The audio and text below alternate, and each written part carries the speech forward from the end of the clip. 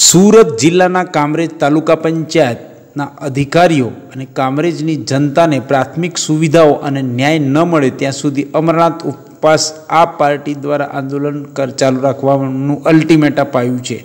અમરનાથ ઉપવાસનો બીજો દિવસ છે. આવતીકાલે સાંજ સુધીમાં ભારતીય જનતા પાર્ટીને જવાબદાર અધિકારીઓ દ્વારા કામરેજની જનતાને ન્યાય આપવામાં અને પ્રાથમિક સુવિધા આપવાની દિશામાં ચોક્કસ બહીદારી આપવામાં નહીં આવે તો પરમ દિવસે અઠ્યાવીસ સાત એકવીસના રોજ જળનો પણ ત્યાગ કરીશું તેવું આ પાર્ટી છેલ્લા શ્વાસ સુધી લડત ચાલુ રાખવા માટે સંજયભાઈ રાદડિયા આમ આદમી પાર્ટી કામરેજ દ્વારા એક નિવેદન કરવામાં આવ્યું છે. ત્યારે હાલમાં સંજયભાઈ રાદડિયા દ્વારા કામરેજ તાલુકા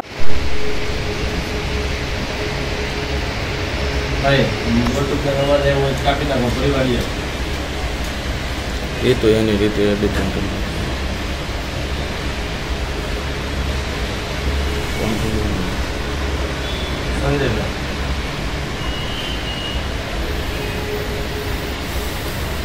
નમસ્કાર, મારું નામ સંજય રાદડિયા, આમ આદમી પાર્ટી કામરેજ તાલુકા પ્રમુખ. મીડિયાના માધ્યમથી પૂરા કામરેજ તાલુકાની જનતા જોઈ રહી છે. ગઈકાલથી આમ આદમી પાર્ટી દ્વારા કામરેજની જનતાને ન્યાય મળે એના સંદર્ભે આમરણાથ ઉપવાસનું આંદોલન ચાલી રહ્યું છે. હજી સુધી સરકાર કે જવાબદાર અધિકારીઓ દ્વારા કામરેજની જનતાને ન્યાય મળે એ માટેના કોઈ પણ પ્રયત્નો કરવામાં આવ્યા નથી. અમે તાલુકા પંચાયત અને જવાબદાર અધિકારીઓને આ મીડિયાના માધ્યમથી જાણ કરીએ છીએ.